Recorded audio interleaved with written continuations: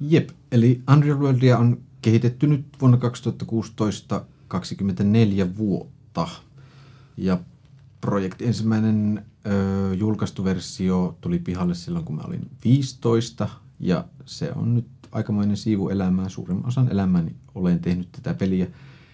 Ja tosi elämä ja pelimaailma nivoutuu niin saumattomasti välillä yhteen, että on melkein hankala erottaa, että kumpi on kumpaa, tai mun tosi elämän kokemukset ja eräretkeilyt ja luontoseikkailut ja fiilistelyt mm, linkittyy peliin tai tuo siihen lisää sisältöä ja sama toisinpäin, että sitten pelimaailma, mitä miettii ja kehittää, niin sitten se antaa pontta ja vaikutteita sitten tosi elämän eräilyille ja muinaistekniikkakokeiluille ja muille.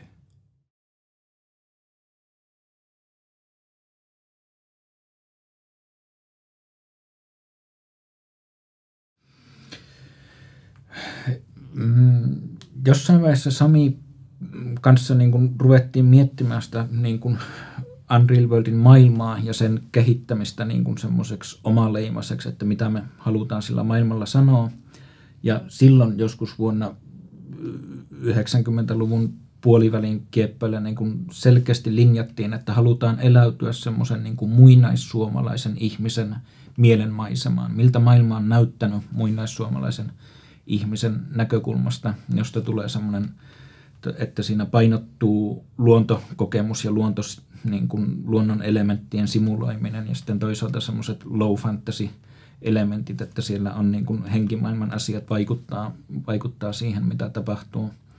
Se on semmoinen vähän maaginen maailma – mutta se on osaltaan lähtenyt niin kuin kummankin meidän omasta kiinnostuksesta ja sitten siitä oivalluksesta, että hei, että tämä on ikään kuin tietyllä tavalla isommallekin yleisölle ainutlaatuisuudessaan kiinnostavaa tavaraa, niin siitä sitä on sitten lähdetty kehittämään.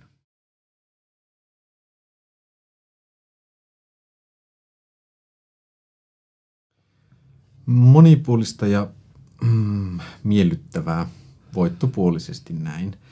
Ja poikkeuksellista ja äh, ehkä yllättävää on ollut se, että miten hyvin peli on otettu vastaan ulkomailla, kun kuitenkin kyseessä on tällainen suomalainen metsäseikkailu outoinen sanoinen ja mytologioinen, niin mm, kaukana Suomen rajojen ulkopuolella silti on laaja joukko pelaajia, jotka löytää jotakin vastustamatonta nimenomaan tästä maailmasta.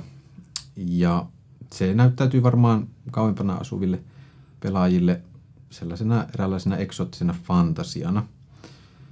Ja tota, vuosien mittaan on myös ollut sellaisia pelaajat, tai tapaamisia pelaajien kanssa, että Ranskasta, Kanadasta on jostain syystä päätynyt pelaajia matkailemaan Suomeen ja heidän kanssaan on sitten vietetty useampi rattosa päivä, monesti eräillen tai jotakin Unreal World henkistä tehden tai vähintäänkin jutellen. Ja näin pitkän historian aikana niin kyllä on ihan uusia ystävyyssuhteita syntynyt joihinkin pelaajiin, että se yhteisöllinen fiilis siinä on aika, aika iso ja mukava osa koko, koko tätä historiaa.